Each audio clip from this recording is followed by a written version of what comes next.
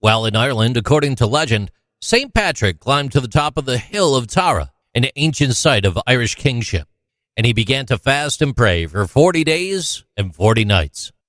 As he meditated, he was said to have had visions of angels and heard the voice of God.